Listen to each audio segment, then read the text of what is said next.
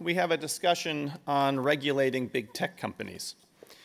With the 2018 General Data Regulation, Protection Regulation, or GDPR, many people believe that the European Union has become the de facto global regulator of technology. One of the foremost voices in the EU on behalf of tech regulation is Marietje Schaake. Marietje represented the Netherlands as a member of the European Parliament from 2009 to 2019, where she focused on trade, foreign policy, and technology, and she initiated the net neutrality law that's now in effect throughout Europe. Marietje is a member of the Transatlantic Commission on Election Integrity, the Global Commission on the Stability of Cyberspace, and the European Council on Foreign Relations. I'm also really, really pleased to say that Marietje, as of this week, has joined Stanford University in a full-time capacity as HAI's inaugural International Policy Fellow. She's also jointly appointed at the new Cyber Policy Center at Stanford. Joining Marietje will be Eric Schmidt, who is technical advisor and board member to Alphabet. Eric joined Google in 2001 and served as CEO and executive chairman. Prior to Google, he was the CEO of Novell, chief technology officer at Sun Microsystems, and on the research staff at Xerox Palo Alto Research Center and Bell Laboratories. Marietje and Eric, the floor is yours. So what we thought we would do is uh, have me make a few comments and then have you make some comments and then have you lead Q&A on, on sort of everything we talk about, anything else the audience is interested in. I, am really delighted to be a member of the advisory board for the HAI. I think that uh, what Stanford is doing here is, is historic in many, many ways.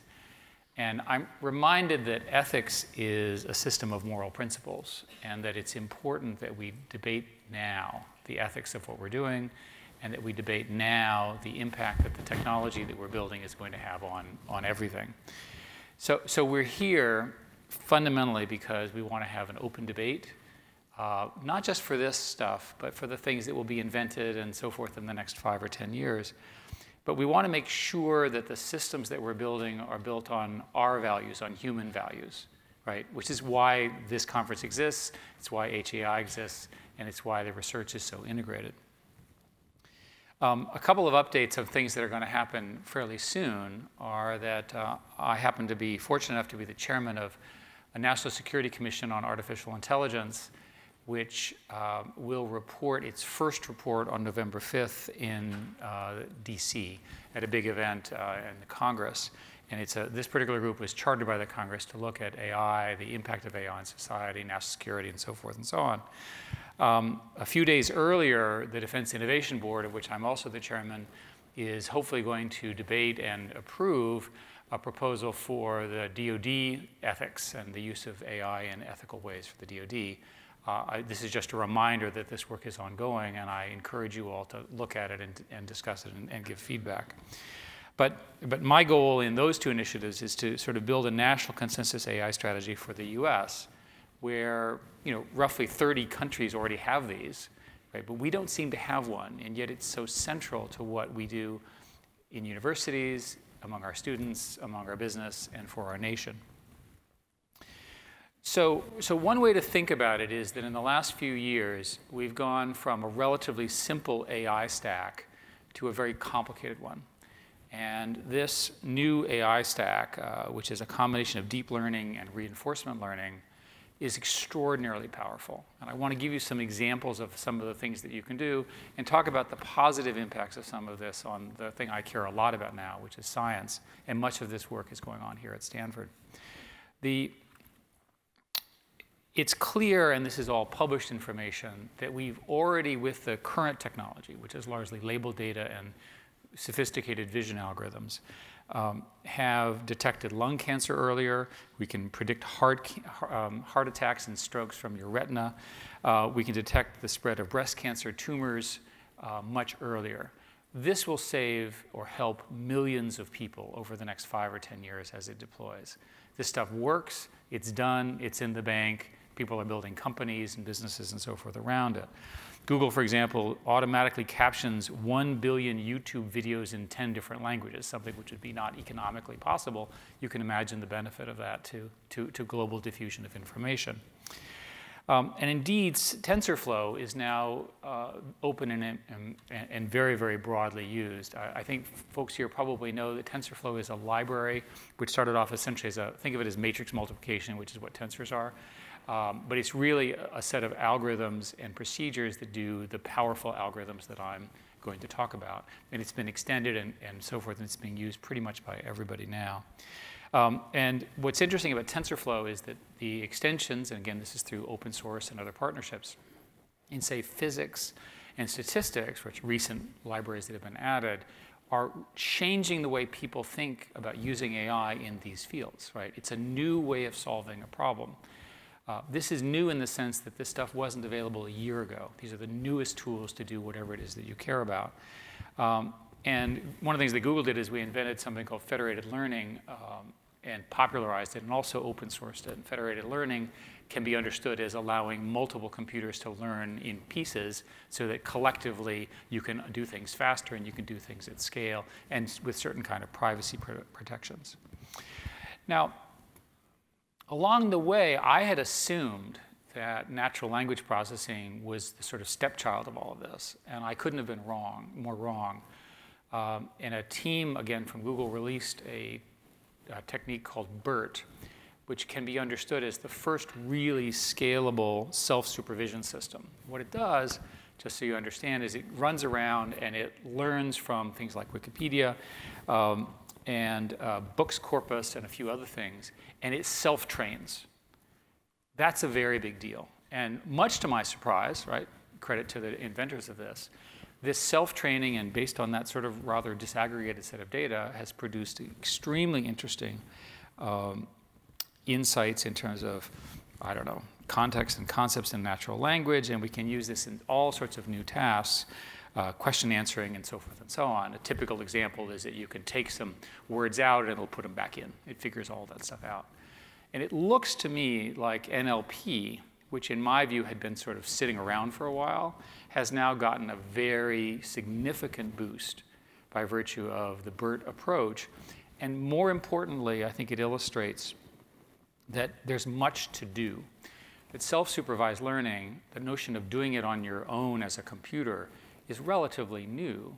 Uh, most of the things and systems that you use today in AI have been with label data. And indeed, the examples that I use with you know, breast cancer and, and uh, vision and things like that uh, and healthcare are largely from label data. But there's a scale problem with labeling data and so forth. So, so with this, right, the combination of GANs, which I'll talk about in a sec, and reinforcement learning means that you really can begin to, to do things at scale that are sort of magical. Right? And that has a lot of implications for the things I'll talk about in a bit about ethics. So, so for me, there is a set of questions that this begins to ask, and I'll begin to develop these by saying that we don't really understand today how humans and AI will coexist together. Right? I've given you very specific task-oriented examples, language understanding, vision, and so forth. But we don't fully understand how this interaction will, will deal, how people will deal with it. We don't have exactly the user interfaces. You know, 50 years ago, the Windows icons, menus, and pull-down interface was invented at Xerox PARC, and uh, we use that today without thinking about it. It had an enormous impact. What is the equivalent of that? It's obviously not going to be the WIMP interface from way back when. But how do we combine a human decision and an AI decision into this? So, so if you look at AI and speech and images, I would say that these, at least at the first pass, are solved problems. They're equal to or better than human capability, and that has a lot of implications. So for example, that's why self-driving cars make sense. It's just much better to have the car drive you rather than you because it doesn't get tired and it doesn't get drunk and it doesn't have accidents like you do. Um, and that's happening. Again, these are things which we know will happen. The question is what, what additionally will happen. So we've made a lot of progress, for example, here with object recognition and so forth, but we have a lot of things that we're still working there. So for example, true deep scene understanding, understanding for everyone, sort of low resource languages. There's lots of languages that aren't the ones that all of us speak. Um, true conversational handling of um, turns. It turns out that one of the hard research questions is how do you detect when a conversation goes from one person to another very back and forth quickly? I'm familiar with a research project which has as a thesis that the rate of such turns with a child, in terms of velocity of turns, is an indicator or perhaps driving their, uh, their intellectual development as a young child. This is at, at, very young ages. We'll see if that's true, but it turns out it's hard to detect that, right? So there's an example of where we are in that frontier. But to me, the thing that, that we're going to see now is the combination of the things I've talked about are going to transform science. And I want to give you some examples. So what happens in, in science is they have, and I now have talked to enough people to understand, they have an enormous amount of data that's very, very confusing. And if you look, pretty much all of the interesting AI approaches in science right now have a GAN in the middle of it. And for those of you that aren't familiar with GANs, GANs are where there's essentially two networks, one which is generating one and one is which is approving or disapproving it. And because the two work together, eventually they can produce things which are, which are normalized, right, and look similar to the underlying data pretty much any interesting application that I've seen in science has, as, has a GAN in the middle of it, which is trying to take all the sort of lossy data and the strange data and turn it into something which then can be manipulated. This, this hard science is about um, finding robust and reproducible patterns in this data. And so there is an opportunity where these models are very, very good at this. I had originally thought when this was first presented to me that somehow you just sort of run this stuff and it would figure it out. That's not true. It turns out you need much more sophisticated pipelines. This is the work that is going on at Stanford in research and many, many other places in the top universities in the country and so forth, at Google and elsewhere. So when you add these generative models like GANs and then reinforcement learning, which uses a simulator, all of a sudden things go much faster. So anywhere where data is easily collected and then normalized, um, or where there's very little computational analysis in the field, which covers a fair amount of science, these things are appropriate. Now, the combination of these things will produce historic results. Uh, AlphaFold, which is from DeepMind, um, has just recently won one of the protein folding uh, competitions. The algorithm is essentially an energy management problem where you have to find the lowest energy state for a complicated set of uh, proteins as they, as, they, uh, as they move around and they fold. And this is computationally very, very difficult. And what it shows, and if you study AlphaFold as an example, that the generic solution is going to be something like this. That you'll take data, the data into some sort of GAN, you'll get some sort of normalized data, and then you'll use reinforcement learning to discover a function that was not known to you before, a transformation of A to B. Um, where will this apply? Pretty much anywhere that's interesting and hard. Quantum chemistry, molecular binding, drug discovery, climate forecasting, complicated energy flows, uh, anything involving Navier-Stokes, those sorts of things. Why do I spend so much time talking about this? Because what happens when this technology in the next decade can allow us to build extraordinarily powerful new materials, right? To understand fundamentally what's going on with the climate in a way we didn't before. Much more efficient energy generation. This is all good. This is really, really powerful. And I don't want us in these complicated debates about what we're doing to forget that the scientists here at Stanford and other places are making progress on problems which were thought to be unsolvable that have not been solved for 50 years or 100 years because they couldn't do the math at scale, simply because of the way physics works. So I think that there's a set of issues, and then there's a set of really hard problems. And I'm going to define issues as ones which we can, I think, address rel relatively easily. Not easily, that's over an understatement. that can be addressed. So the, one of the first questions about AI systems is we want them to be in a situation where the end users are in control and they get what they want. Right? This is the problem of, you know, I built it and it didn't do what I wanted. And of course, movies are full of these scenarios. It's incredibly important that the AI systems that we collectively build, including the ones that I've highlighted and many others, have human control, right? Our legal systems, our ethical systems, all are based on these sorts of principles. We don't want rogue things running around in, in the vernacular of movies.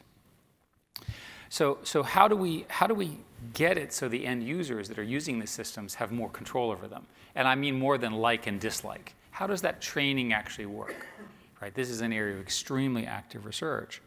Um, we, we just don't want uh, the AI just exploiting our impulses and obsessions and anxiety.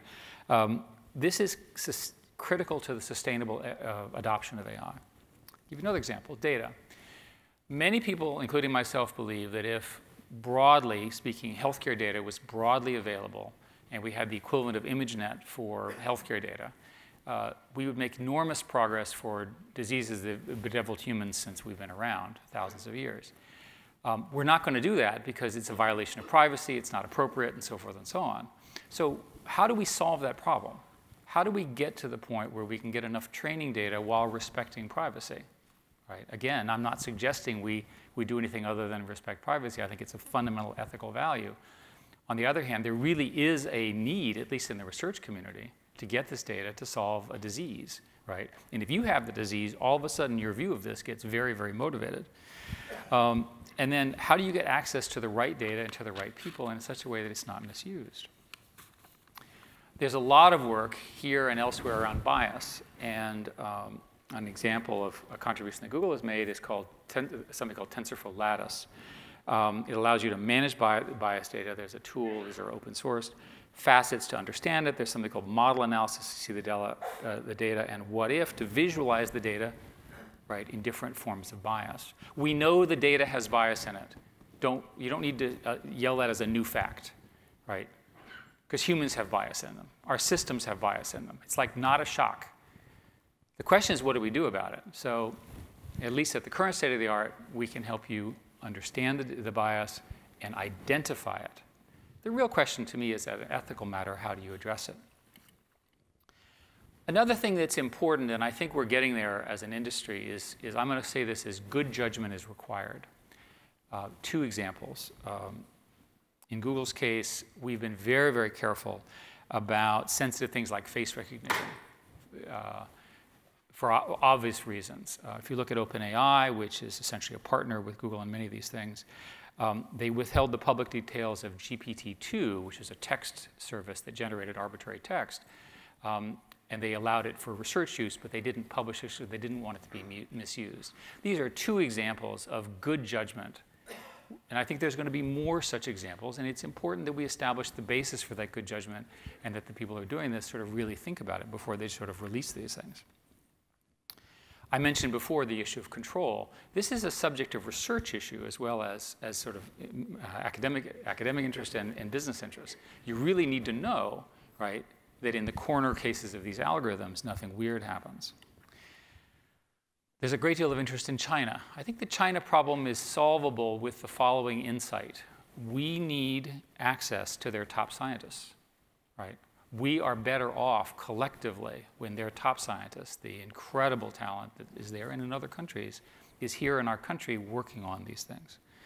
Um, and we also benefit from common frameworks, uh, TensorFlow being an example, and there are a number of other ones. And I would argue that even in a situation where everybody hates each other among all the countries and they can't get along and they don't agree on anything, there are still areas of common agreement. The most obvious one is you have a country that's doing experiments. Let's say it has some horrific cyber thing that it's experimenting with, um, not the US, but somebody else. And clearly, it's not in their interest or in our interest for this to escape from its testing harness, right? You are, so there are all sorts of ways, and imagine you can imagine treaties and agreements among countries to try to mitigate the worst possible scenarios, the one that everybody wants to talk about. I think there's some really hard issues. Um, I think this fake video thing and the impact of misinformation is a really hard issue. It's hard at a sociological level, it's hard at a technical level.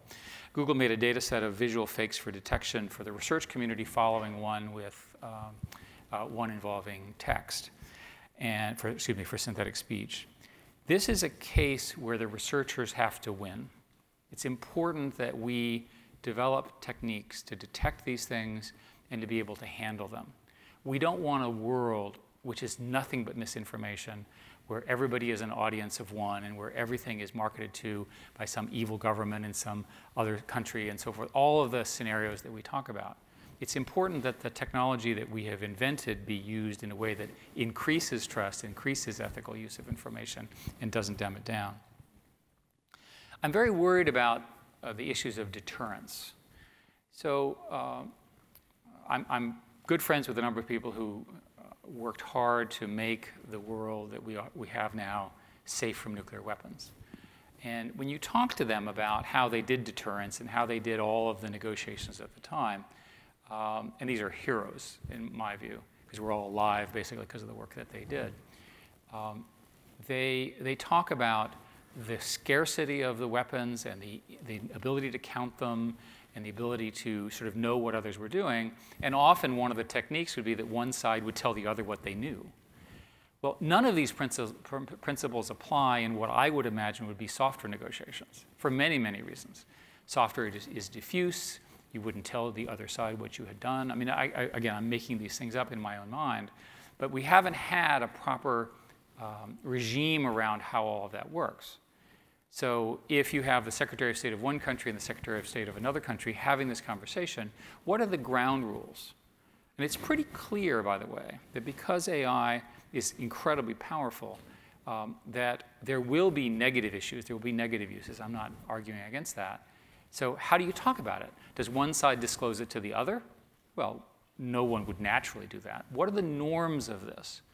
This area strikes me as one which is a nascent beginning but likely to become very important um, as general intelligence becomes more and more possible, which is some time from now, of course. Um, when this technology, another hard issue is the technologies that I'm talking about will largely first come out in government form or in commercial form. So for example, in China, the surveillance uh, technology, uh, which is, as a technical matter, well done, has had a, a sort of terrible impact, right? So that's the first use that those folks have seen of the power of AI. Well, that's not the first use I would like them to see of AI. How do we sort that out? Um, this notion of sort of ubiquity of this technology and how do people experience it will also color how our technology is treated. And I think it's also important that we establish right here, right now, that the liberal values of Stanford and of the university and Western values are the ones that should win, right? That we shouldn't allow other values, right, which we can debate what they are specifically, but we need to be unified and clear on that. So there are lots and lots of upcoming issues. My, my favorite current one is the following. So in the, in the reasonable future, not in the next year or two, it'll be possible for you, let's say you're a, a somewhat into middle age kind of an adult and you're kind of bored with your normal life. And so what you do is you put a headset on for the day and you live a life of your younger self. And that virtual world that you live in is populated with the virtual images of your friends who are themselves younger, more handsome, more beautiful, more energetic, richer, whatever, um, more, more hip. What do you think about that? What do you think about, um, uh, the term I use there is called crossing over right? What do you think about people who would choose to do that? Is that a good thing or a bad thing as they sort of leave our current physical world except for things like eating, right? And they go into that. Now, is that a likely scenario? Take a look at 3D gaming today and imagine 10 years from now. You can do this with many, many different technologies, and we need to start having those debates. What I want to say here in finishing up is that um, this I start from the premise that this technology is extraordinarily beneficial. I think the evidence is there. The ability to deal with disease alone, right, which has bedeviled all of us and our ancestors and our parents and our children and so forth and so on. I mean, what a gift. And I can go on. Think of the number of people who will be alive because a car doesn't kill them. I mean, I can just go on and on and on and on. Um, I also think that we're just beginning to see the impact of this technology on the really, really powerful things in science, right? whether it's disease discovery, understanding how the basics of energy work, and so forth and so on. And we will see that benefit in the same sense that we saw the benefit of electricity, you know, 100 years later. I think that the optimism that I would offer for a research perspective is that I think we know what the next set of things are right? That the combination of the GANs that I talk, talked about, um, this sort of self-supervised learning maneuvers, reinforcement learning, and the development of broad simulators, or at least specific simulators, will enable these extraordinary gains in the next five years. I cannot wait to see what next year and the following year look like from the power of what is happening here. So thank you very much. Would you like to go ahead? Thank you. Thank you. Um, I'm going to talk about governance. We can see if it's a problem or an issue, uh, one of the two. It's certainly a hot topic. Um, earlier this week, I was doing a debate in New York organized by Intelligence Squared, where the proposition was in an Oxford style debate Europe has declared war on the American tech companies. And I was kind of wishing that the debate would have taken place one week later, because then the proposition might have been American Congress has declared war on the American tech companies. So in that light, you know, merely talking about regulating big tech already sounds like an olive branch. But very clearly, in Europe and the United States, and frankly globally, questions of governance to safeguard the rule of law, the public interest, and the protection of individual rights, collective rights, amidst technological change and geographical power shifts, is at the top of the agenda. I think the biggest question is how do we implement regulation? And I would say starting with principles that we protect for very, very good reason is a much more productive approach than to suggest that techn technologies are so exceptional that they can only be regulated by entirely new systems or models. Firstly, we don't have the time or really the ability to start from scratch if there ever is such an opportunity in governing, but especially now in these polarized times and global, uh, globally tense times, I think uh, it is just not going to work that way. But more importantly, there's too much that is of enormous value in the human rights frameworks and other fundamental principles that we have uh, to simply discard them. Now, an often heard argument, especially in this part of the world, is that governments should refrain from regulating technology or the internet because it would stifle innovation. Maybe this sounds familiar. But I think the zero sum dichotomy is a caricature. In fact, arguing that implies that innovation is more important than democracy or the rule of law, the foundations of our quality of life. And I believe actually, that some of the most serious challenges to our open societies, but also to the open internet today, do not stem from over, but rather under regulation of technologies. Now, the idea that tech companies are categorically against regulation is paradoxical for many reasons because they have directly and also significantly benefited from regulations such as Section 230 intermediary liability exemptions. And actually, companies themselves are increasingly governing very impactful parts of our economies, societies, and democracies. Terms of use are often a stronger indicator than legal articles of what hundreds of millions of people experience in terms of content when they go online. Google processes approximately 63,000 searches a second. Verizon and MasterCard verify your identity and payments online.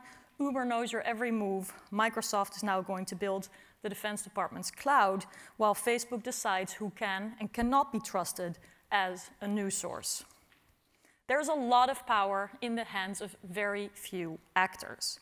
And not only does that make it very difficult for newcomers to catch up in terms of creating data volumes, private companies are increasingly taking over crucial parts and the role of governments, uh, but without an explicit mandate and without democratic legitimacy, without the kind of accountability that's proportionate to the powers that they assume.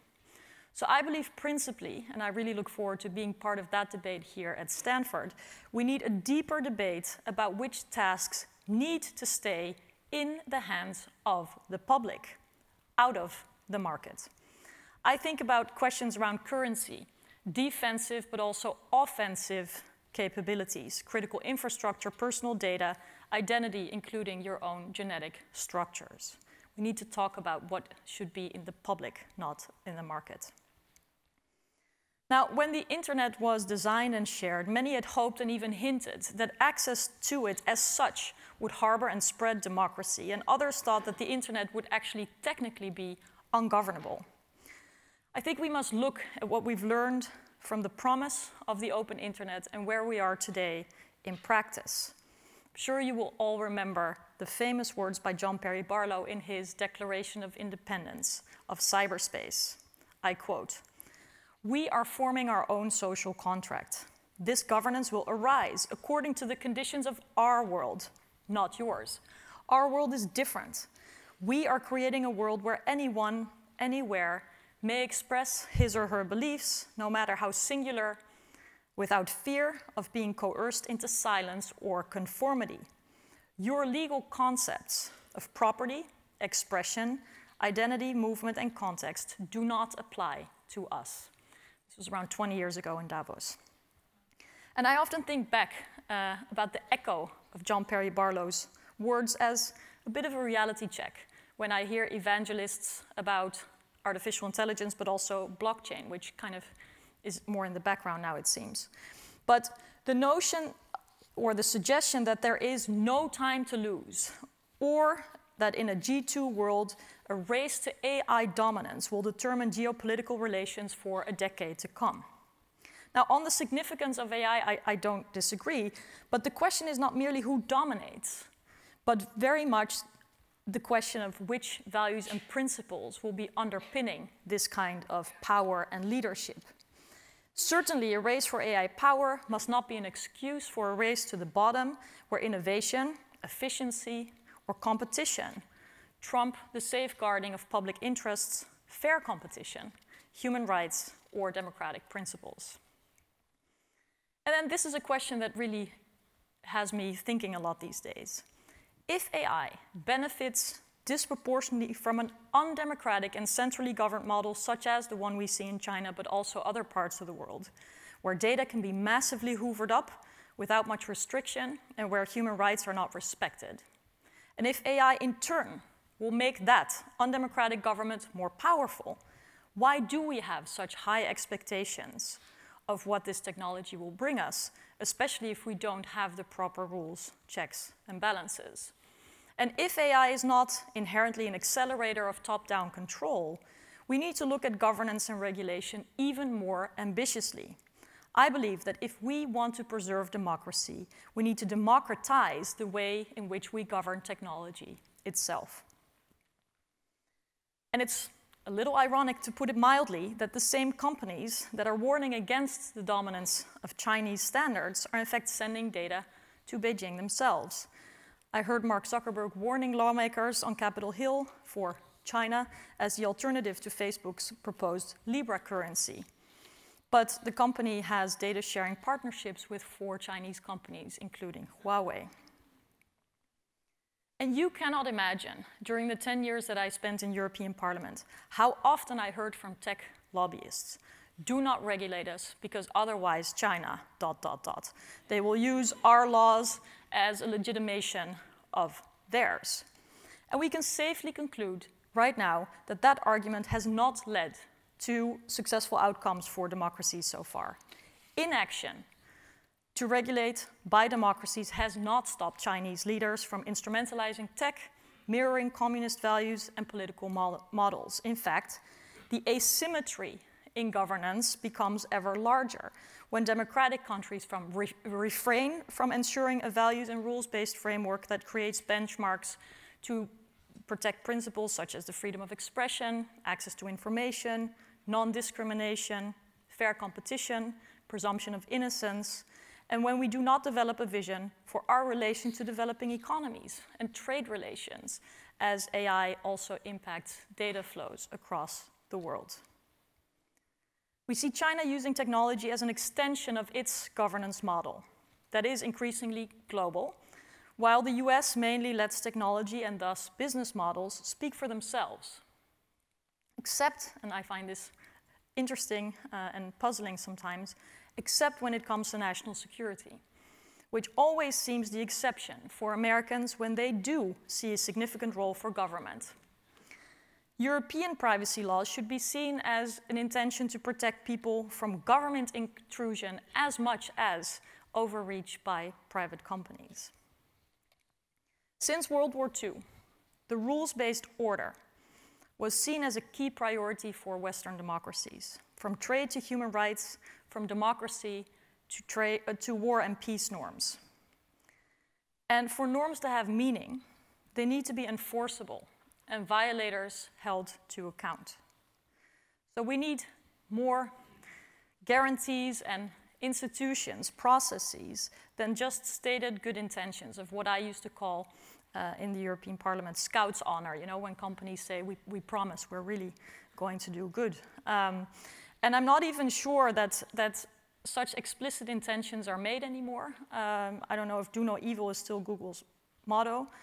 Um, but it's really about more than promises. We heard about the need for redistribution of, of benefits, for example, in the first panel. Now, you know, which government would say, okay, if that's your intention, uh, big tech company, that's fine, go ahead. Or do we need taxation and other kinds of redistribution mechanisms that apply equally in place? Uh, I would say we do. But what we can see so far is that, in part led by the success of Silicon Valley businesses and its culture, the US took a more libertarian approach and certainly did not seek to build and safeguard a rules based order in the digital sphere, uh, or let's say an internet whole and at peace. And we now know that this hands off approach did not break monopolies but created new ones, empowered not only individuals but also companies and dictators, disrupted journalism and electoral processes, and did not prevent the balkanization of the internet. It certainly did not nudge China into following our example. And I've not mentioned explicitly uh, inequality, discrimination, job displacement, and the environmental damage that we also have to be very mindful of and that AI can put on steroids. And I'm very glad Joy is here. Uh, we'll hear from her later because she will talk about some of the uh, risks of exacerbating discrimination um, that can happen when data that is being put into the training of algorithms and AI is biased or flawed uh, for many reasons. But because digitization often means privatization, it means that the outsourcing of governance to tech companies, technologies, and algorithms built for profit, efficiency, competitive advantage, time spent online, ads sold, certainly not uh, designed to safeguard or strengthen democracy, is a process that's happening. I believe that the shift to private and opaque governance through technological standards is one of the most significant consequences of AI that we need to shed more light on. Lawrence Lessig's work, Code is Law, is in that sense more relevant than ever. But the reality is, and for lawmakers this is an inconvenient truth, is that the full impact of the massive use of tech platforms and AI remains largely unknown. Academics, regulators, law enforcement, lawmakers, judges, civil society, journalists, and citizens alike have an information deficit compared to companies, even if their impact is public for both good, and we've heard a lot about opportunities, but also harmful. And also, companies may look at the same data through a completely different lens and with the aim of achieving completely different goals than uh, these uh, the um, uh, stakeholders that I mentioned um, may have. And actually, many AI engineers will admit that no person really knows anymore where the head and the tail of algorithms are after endless iterations. They're excited about the fact that outcomes are not predictable and I can understand that excitement. But we can only know what the unintended outcomes are when we know what was intended in the first place. When there's transparency of training data and documentation of intended outcomes and variations of algorithms. And on top of that, regulators and auditors, as well as other public servants, will need to get mandates and capacity for meaningful access to data and information. I think the example of Cambridge Analytica is interesting. It is often seen as an abuse of Facebook's platform. But I believe it actually simply used the platform the way that was possible without restrictions on data collection, micro-targeting, data sharing, and the use of political advertisement. The same goes for multiple other disinformation campaigns. So in assessing all the possibilities and opportunities that AI offers, as well as its potential harm, we must explicitly look both at use and abuse, the intended and the unintended. But the Cambridge Analytica scandal anecdotally shows how huge the accountability gap is. And we see this with every data breach or cyber attack over and over again, because too often no one faces meaningful consequences. Without transparency, no accountability, and a real risk of disenfranchisement of citizens who see powerless public authorities in the face of very powerful events happening and impacting their lives. Now, trade secrets and other intellectual property protections cannot be the perpetual shield against meaningful access to information and oversight. It's a fairly cynical cycle where companies claim that politicians don't know anything about technology, so that so you know they can only but propose bad regulations and laws, when in fact the most important information is carefully guarded. This cycle has to be broken. And if trade secrets stand between us and scrutiny, that has to change. Another argument I often hear is it's too early to regulate artificial intelligence. But at the same time, many people agree that we were too late to regulate platform companies, micro-targeting, political ad data protection, and privacy online. And you know, perhaps the timing is never perfect. But I would prefer to be proactive and not wait until there are further uh, harms or, or uh, other effects of AI. And, and let's, let's be proactive while we can be. Now, this conference will deal a lot with ethics frameworks, and it's, it's a very popular topic. It's also hard to be against ethics, I believe. And that may explain that there are now around 128 frameworks of AI and ethics in Europe alone. But if everything is ethics, nothing is. And the question is who design, designs and oversees ethics standards, who decides what is or who is an ethically competent leader, and what happens in cases of breach. In other words, how do we make sure that it is meaningful and enforceable and not just window dressing and a distraction? AI development should promote fairness and justice, protect the rights and interests of stakeholders, and promote equality of opportunity. AI should promote green development and meet the requirements of environmental friendliness and resource conservation. AI systems should continuously improve transparency, explainability, reliability, and controllability, and gradually achieve auditability, supervisability, traceability, and trustworthiness. I can go on, there's a fairly long list, and it's interesting because I was reading from Principles of AI Governance and Responsible AI, produced by the National New Generation of Artificial Intelligence Governance Expert Committee in China. This was produced on June 17th, 2019. And I want to thank uh, Lorand Laskai and Graham Webster from New America because they made available uh, the translation. I think it's, it's worth a read because when you read these ethics principles, they sound quite accessible and agreeable. But clearly, uh, they have not quite solved the challenges between, for example, this country uh, and China.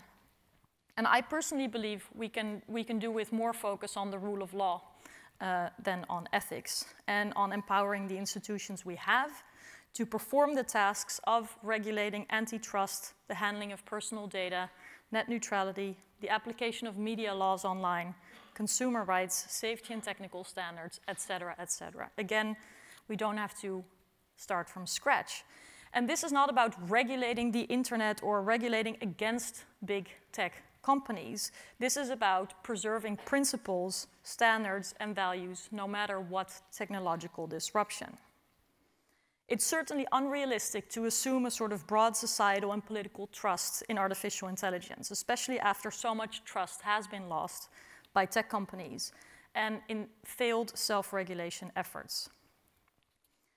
I think it's difficult for companies to want to have it both ways. While on the one hand, making big promises to customers or advertisers about the extraordinary efficiency with which ads can be connected to internet users. And on the other hand, when you say, well, we have to start thinking about the potential harms of machine learning to say, oh, you know, we're not that far yet. Uh, AI is really in its early stages.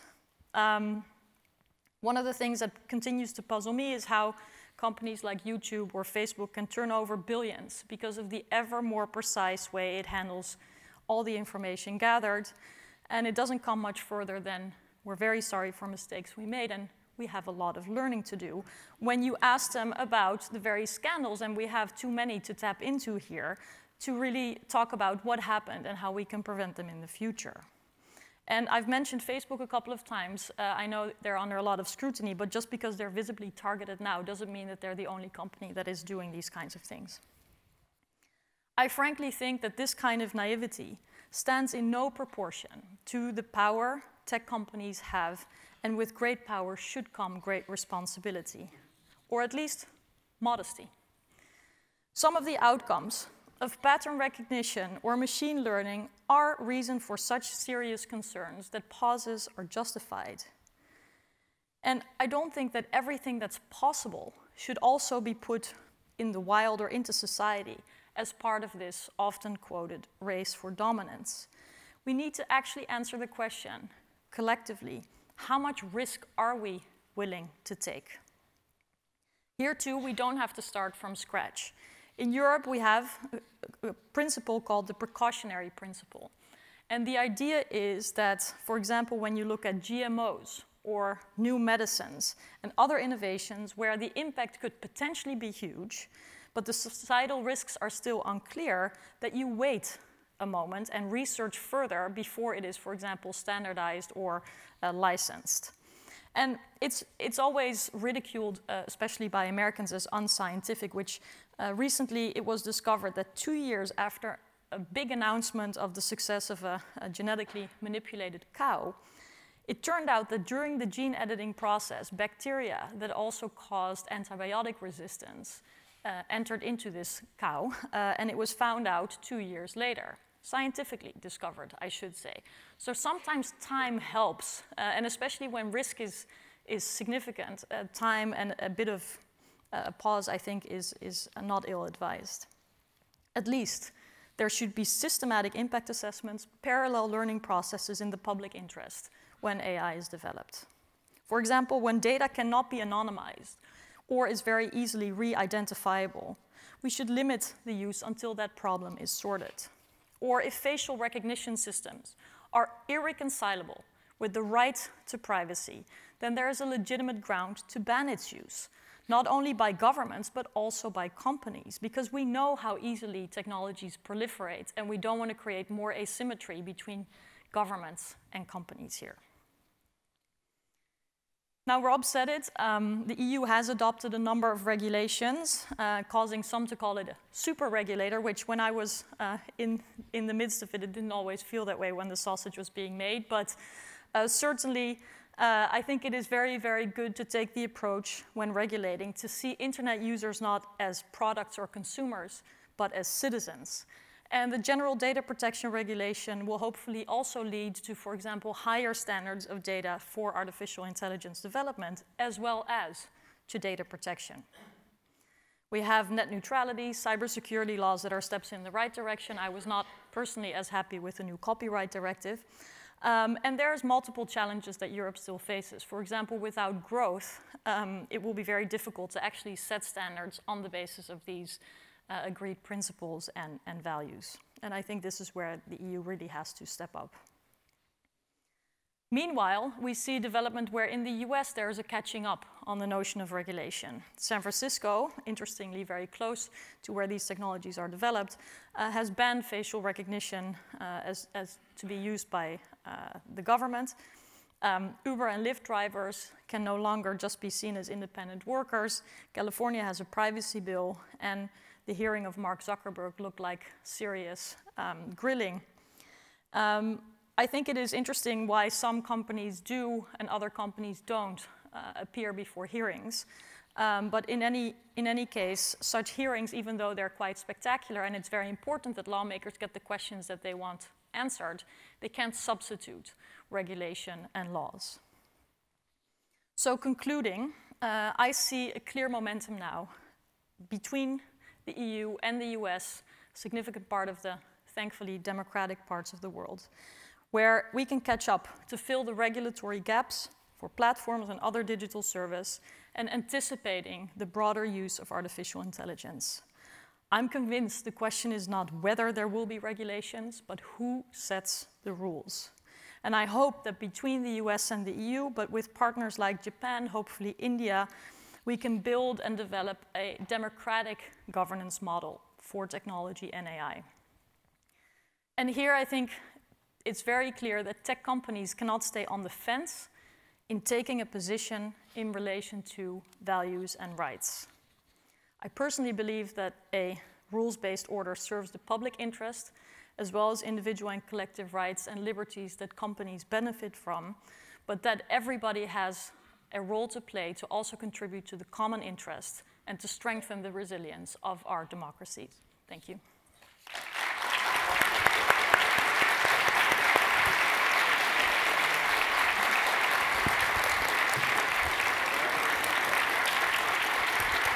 Thank you. Thank you. Wow. Thank you. Oh, it's okay. Thank you. I'm glad it, it, uh, it rings a bell here with people, and I hope we can work on it further as I start here um, at Stanford. We have about uh, a small half hour left for discussion and Q&A. And I wanted to kick off uh, the exchange with one question, which is, um, you talked a lot about the possibilities of the technology. You've, you've had a lot of leadership roles in various capacities and continue to have uh, leading roles.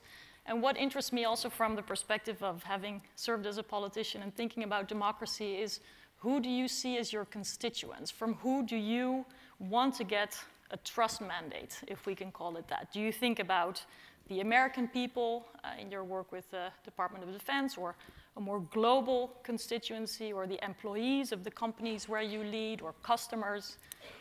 Well, in the Google context, the answer has always been the customer came 1st mm -hmm. And the reason that we disagreed with a number of the initiatives that you mentioned was we disagreed on principle that this was in the best interest of customers, right? And I can, it's a longer conversation, but I did it for decades. Um, and the reality, if you're CEO or a board member of a corporation, is you have many constituents that you have to serve. The government, who is a monopoly of regulation and you have to follow. Um, one of the bizarre problems with running these large multinationals is that governments don't agree on really fundamental things, and so you end up with these very complicated geopolitical things. Um, so, for example, France will try to pass a law which will cause uh, censorship of a certain particular thing in Google, and they want it to apply to the world. And then there's a complicated legal process where it's decided that applies to, to France or the EU and not, not the US. Yeah. We saw this, for example, with the right to be forgotten. Mm -hmm. But in any case, you asked a constituency question. So you've got your employees, and employees today are much, much more active in the governance of the company and what they want to do. Yeah, we've seen and that. we've seen that. We've seen that quite a bit. Um, you have shareholders, right, mm-hmm. who matter a lot. But it, it, used to be when I was young as an executive, the answer was the CEO served the shareholders. That's clearly no longer correct. It's mm-hmm. now shareholders plus governance plus consumers plus partners plus employees and the local community. Mm-hmm.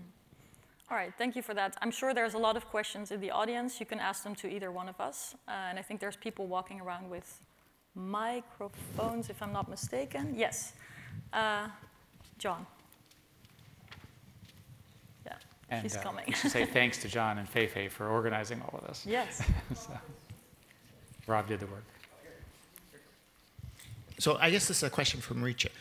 Uh, so I liked your talk very much, but one of the things that you um, came down at a different spot from where I would come down is on the issue of uh, whether of regulating too soon versus regulating too late. Um, it seems to me, I've always been an advocate for not trying to regulate before we fully understand the technology, or, or having legislators that don't understand the technology writing the regulations. I think that's not, not helpful. I actually think that the example of the San Francisco uh, banning, total banning of the use of facial recognition by governments is not a good, is not a good example of regulation. I think it's, there are a lot of uses that, that we should allow and a lot of uses that we should not allow. I agree with that. So it seems to me that the real question, it comes down to the question of what we want is regu- we want regulations that are just right, sort of the Goldilocks regulations. We want them that uh, prevent the bad things and allow the good things, mm -hmm. roughly speaking. And we kind of agree on what are the good things and what are the bad things. So the, we're going to get it wrong uh, either way. If we hold off and don't regulate, or if we regulate too soon, we're going to get some things wrong. They're not going to, it's not going to be perfect. It seems to me that the question then is where we, we will need correction. Mm-hmm. And is it easier to correct regulation that has been written that is bad, that is over regulating a, a technology, or is it easier to introduce regulation that prevents things that have been abuses that have appeared and, and become manifest. So it prevents these bad things later on. Mm -hmm. I don't know the answer to that, but that seems to me to be an, a really important question. It would seem that adjustment could be made. Uh, we could easily step in and say, well, look, Facebook or whoever, uh, you've been doing this, and we think we now understand the technology. We don't think we should allow that anymore. Now, the problem, of course, is the huge pushback that you get. Can the regulators, the legislators, actually make that happen? Mm -hmm. So, so there's my question is just, you know, eh, what do you think about where the adjustment is most easy to, or most likely mm -hmm. to mm-hmm. come about? Thanks. I, I, this is a very rich question, and let me try to just touch upon a few points. Uh, one thing is the notion of getting it right. You know, the, the, the, thing is, of course, nobody will always agree. There will always be people who disagree with any law, and that's the good thing about a democracy. N not everybody agrees. But what I think is, is a hugely important momentum now is also for governments to innovate the way they regulate because technologies generally develop very fast. You know, it's, it's clear that they develop faster than democratic decision making. But the question is, where do you start? Do you start with the technology? Let's stay with your example of facial recognition. And do you then say, we have this technology, how do we regulate it? Or do you start with the principle? Let's say the right to privacy, and we empower the regulator to assess whether facial recognition or a university or uh, the supermarket violates your right to privacy, and, and that that regulator is empowered in ways, the appropriate regulator, so it could be antitrust for antitrust cases, could be non-discrimination for, uh, you know, the, the equal, um, equal treatment watchdog or the civil rights uh, watchdog in any given country. I think of this as a need for a framework regulation where the principles are anchored very firmly. And this also allows, for example, for broader agreement to be sought between the US and the EU on free speech. I mean, we are, compared to the rest of the world, very much aligned, but our laws are very different. Europeans don't have the First Amendment, which is really you know, sacred uh, for many people in the United States. We have some exceptions. How can you come to, uh, let's say, standards on speech standards on the processes of uh, exception and how it should be dealt with online, and then empowerment of regulators to even if next year there's a new technology or in five years there's another new technology, that we don't have to rewrite the laws all the time.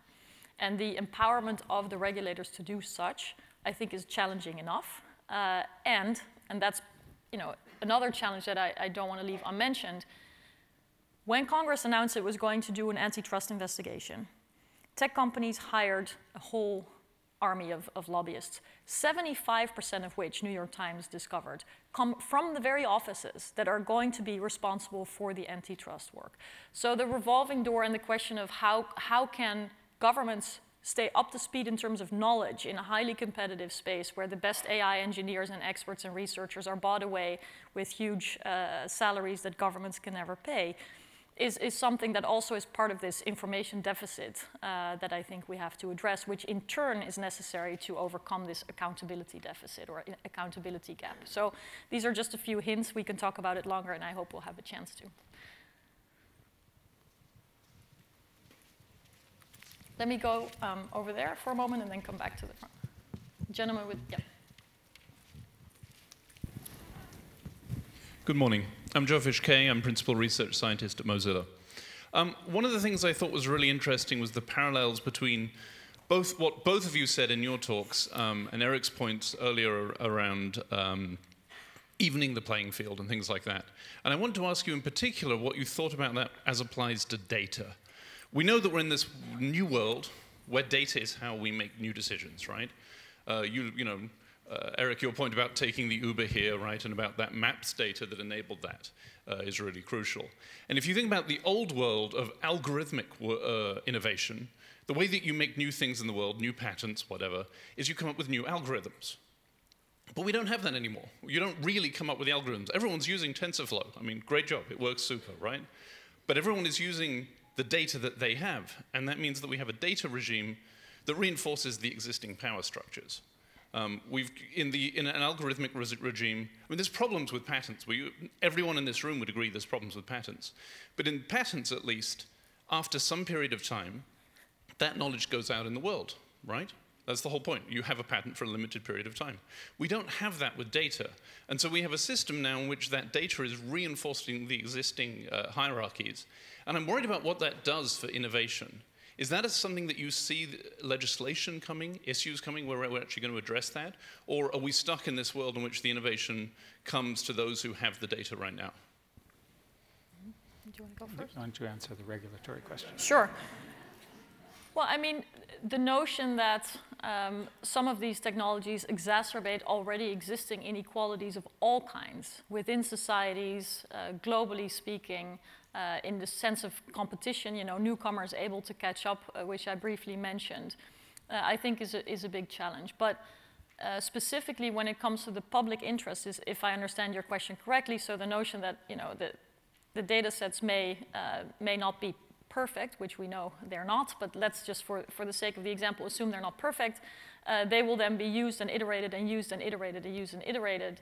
Uh, and then uh, how do we know exactly uh, what's going on if that information never becomes public, right? Similar to the, the patent discussion. So this is where I think the question of maybe parallel tracks of, of research in the public interest and the use of algorithm is, um, uh, legitimate. So especially when the function and the, the outcomes impact the public interest significantly, let's say healthcare or uh, traffic or you know, things that, that are very much a part of society, uh, then I think it's absolutely uh, important that regulators um, and others who have the role to safeguard the public interest as well and to enforce laws have access to that information and to those, those outcomes. So uh, what I think will happen is, is depending on its use. In some uses, this may not be uh, required, and in some uses, it, it, may. But the idea that companies can, can take over more and more uh, vital functions without having accountability towards the public, I think is unsustainable, as we've seen, but regulation has to catch up. The, uh, you can imagine a number of data, data repositories that would be run by the government, that would be opt-in, that would be address some of the questions that you're asking.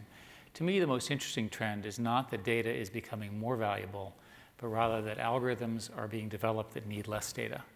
So in other words, if you think data is the new oil, your oil may become less valuable over time as research is showing us that we can learn on much smaller data sets. And that's a welcome, that's a welcome innovation. And I think that will mitigate some of the concerns that you, that you mentioned. Can I ask a follow-up question?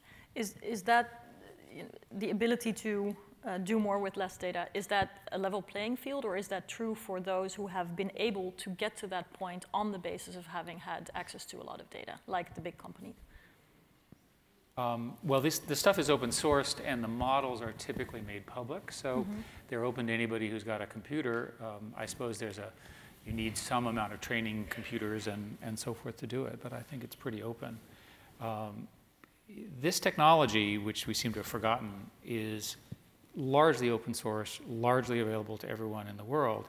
Uh, your discussion is largely about the, the issues of regulation and companies and so forth.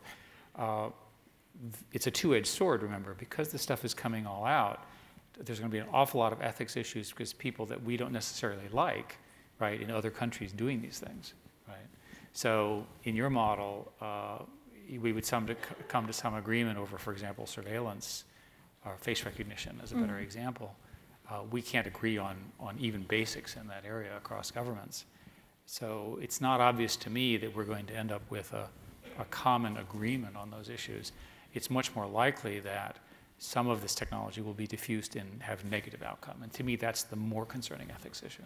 So, yeah, so I, that's another question that uh, I think it's really important. So have you seen in any of the uh, roles you had with Google or, or what you see now in Alphabet or the broader market, where companies that have an opportunity to roll out in a market where, for example, human rights are violated in a way and that those human rights violations could be exacerbated by the avail availability of the technology and that the decision is made we're not going to go into that market. because we don't want to take the risk uh, or we don't want to be instrumentalized in, in that sort of dynamic. Um, I, sh I, shouldn't comment about companies other than the ones that I'm familiar with, which is Google. Uh, Google has a complicated debate about every product in every uh, country. Uh, I'll give you an example of the Innocence of Muslims video. People may remember oh, yeah. this from 10 years ago, which is like a disaster. And what happened was uh, this horrific video was uploaded, uh, and then it had a huge impact in a number of countries. And so what we did is, this is a decade ago, we geo-restricted it so it wasn't available. Right? So that's an example mm -hmm. where you say, oh yes, we, you know, we love these American principles, but the fact of the matter is this, that, that this video, which was essentially a spoof, was causing real damage. Mm -hmm. And so we reacted. There, that happens every day in these large companies. And then is, is the benchmark um, physical harm, which I believe in this case of this example that you mentioned about the innocence of Muslims, it was also about violent protests where people were getting hurt, or is it also about human rights as a, as it's, a it's, continuous it's any, It's any form of government policy or concern. Mm -hmm. So in Google's case, we have a whole set of rules about these things. But you'd be surprised how much care goes into these things now for the reasons that you described. And is there also contact with um, public authorities on this? They call us. Mm -hmm. they still use phones, okay.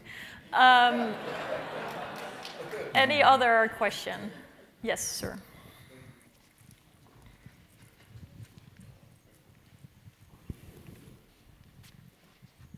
Uh, ben Shneiderman, University of Maryland. Uh, thank you both for exceptionally clear presentations and thoughtfully nuanced ones. Uh, the focus, though, is both on the notion of what I would consider prospective regulation by government. An important force, and doing it right is important. But I'd say the, the ecological system of independent oversight is much richer.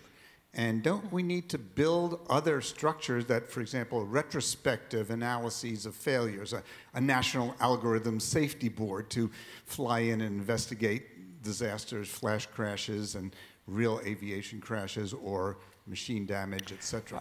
Uh, don't we need also the, uh, the role of the traditional auditing companies, the PwC, KPMG, Deloitte, don't they have a powerful role in influencing the companies through their annual independent audits? And don't the insurance companies play a necessary role, as they did so clearly in the, in the building construction industry, to support building codes and provide insurance only if demonstrated safety has been addressed. So it seems to me there's a wider ecology that would support and maybe reduce the fears of regulation because others would pick up on the varieties of independent oversight that seem to be necessary to produce the, the trusted, reliable, and safe systems we hmm. want. But in the last few years, all pretty much every corporation I'm familiar with has gone through essentially a computer security audit and that's typically driven by the insurers and the liability of the board. So I think that's a good example of your point.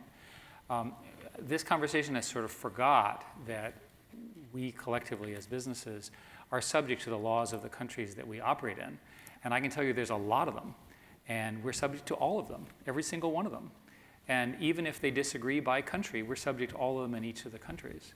And so I would be careful about building any form of additional regulatory structure that's extra legal, right? In other words, if you, if you, if you want to do what you suggested, Ben, uh, then you better write it in a law that applies to everybody and can be codified in law. So the notion of, for example, hey, there was a crash and we should investigate the crash of an algorithm, that's a pretty big expansion of government role. And you might want to think a lot before you make that proposal for its un unintended consequences. I, I, think the agencies yeah. like the FDA and NIST and FTC are each moving towards doing that on a local way, which I think is a more natural way. I don't think a broad agency, but a narrowly focused ones within existing uh, review boards to retrospectively analyze failures. No, but I, I want to pick up on something Eric said, which I think is really important because the agencies typically, especially in Europe, they can only assess uh, in the majority of the times whether existing laws have been respected. Uh, in the US, sometimes the agencies themselves set norms as well, like FDA, I believe, does, uh, et cetera. Um, but so empowering the agencies of all kinds to reach into the new domain that the technology may uh, create with their same mandate, right? Public safety or maybe even aviation, et cetera, still requires to, to look against a standard. Uh, and then I think the sort of post-mortem on damage, I think it, it could be uh, foreseen that if a crash, I mean, if it's a small-scale crash, which you know, of an algorithm or an attack or whatnot that didn't impact many people could be a different case than if you have negligence in the way software was built, which has exposed, you know, the data of, of hundreds of millions of people. Um, for example, when this company was trusted to run, I don't know, voter registers or whatnot. So there is a group called the Federal Trade Commission, which largely regulates the tech industry which has found most of the companies in violation of one thing or another over the last 20 years that I've been dealing with them. And so I would be careful to first understand what mandate they have and what they're doing before you ask for a broader for a broader expansion. I would be very careful about additional liabilities, those sorts of things, um, be, because of the, of the many possible impacts. The, the regulatory structure that you describe in Europe um, which Europeans like and is legal and, and so forth and so on, has the property that it has increased cost of operation for small companies in Europe. Right, this is just a fact, and I know this because my friends in Europe tell me this. That's okay, right? That's a deliberate decision. But it's important to understand that all of these things have costs as well as benefits. Oh yeah, I fully agree. And I'm curious to see what's going to happen in both the US and the EU when it comes to liability uh, for, for example, content of platforms. I think it's going to be a hot hot yeah, debate in politics. No, but if you look at liability for content, uh, the vast majority of the social network systems rely on users to upload uh, content. And shockingly, there are users that upload bad content. wow. And furthermore, there are people who do criminal content, which is illegal. That's why it's called criminal. Uh, they upload copyrighted content, which is a violation of copyright law uh, they upload information which decided to misinform. So from my perspective, all of those are undesirable. I think it's very difficult to then write a rule that coherently addresses all of those, that then becomes an algorithmic inspection group, et cetera. I think it's a, it's a leap. I would be very careful to understand that the companies, uh, YouTube, for example, deals with it every day in all sorts of ways. Um, and they're not perfect, but they certainly understand these issues and they make these decisions dynamically, and they're completely subject to the laws of the countries that they're operating under, and they're well aware of it. Yeah, I mean, I, I think I mostly agree that it's, it's not a good idea to offload all these responsibilities on the platforms and just say, you know, figure out what is undesirable, illegal, harmful uh, speech and whatnot. But on the other hand, the status quo, I think, is, is more than not getting it right all the time. I mean, if you have number one recommendations on Amazon when you look for a book on vaccinations, some kind of book I found when I looked for an example once when I wrote an op ed called um, Melanie's Marvelous Measles which was a book that celebrated having measles and was obviously part of the whole anti vaccination uh, movement. We've seen conspiracies rising to the top of search results as well as other.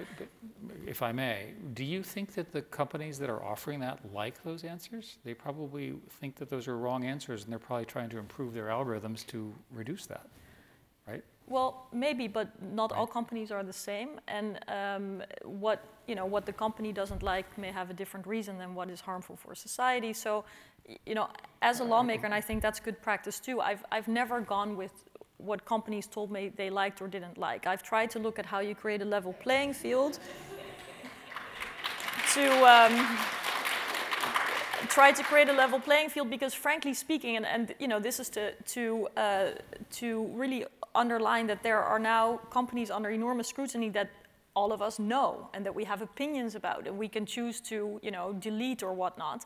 But there's also massive companies like data brokers to name one example or also the creators of hacking and, and surveillance systems that are being exported to military intelligence uh, all over the world whose names we don't know that are under very uh, little public scrutiny but that are still uh, causing a lot of harm. So uh, I think it's a, it's a diverse field, and you, you happen to know a lot about company that's very well known, uh, but that's not, not all that we regulate for. Um, we have time for one more question. Way back? Yep. behind you, I think the gentleman with the hat you meant, right, Eric? Yeah. Yeah. Thank you both. I'm, I'm reminded of, I think, Jeff Goldblum from Jurassic Park. From a tech industry, we spend all this time, uh, from a scientist and research perspective, thinking if we can, not whether or not we should. And it seems that there's a collision as well, societally, between uh, the move fast and break things mentality. And from a tech industry, from a, I would say, a capital markets perspective, as to it's all about who's fastest wins. Uh, how do you get to market fastest? Uh, the economics trump everything, growth at all costs. And if, from the, the corporate perspective, and this includes for startups as well, startups are just trying to survive. They're trying to get to the next level. But once they get to the next level, then it's, hey, how do you grow fast enough? How do you gain market share? And how do you become the category leader? How do we balance that?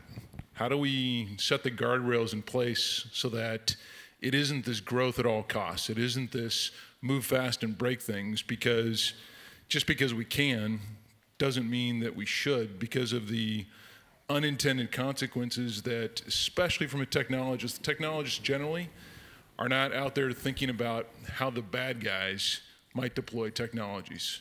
Uh, and, and I would hearken to Brad Smith's book, Tools and Weapons. You can use a, you can use a, a broom to sweep, or you can use a broom to hit, hit someone over the head.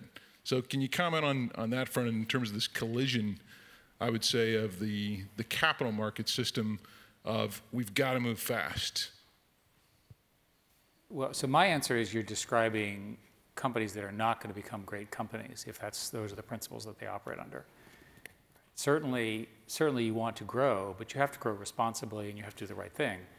Uh, Google certainly has had a belief system in inside of it for a long time. You can debate it, but we under, internally we understand it and we can express it and we can express why our decisions have followed from that set of principles.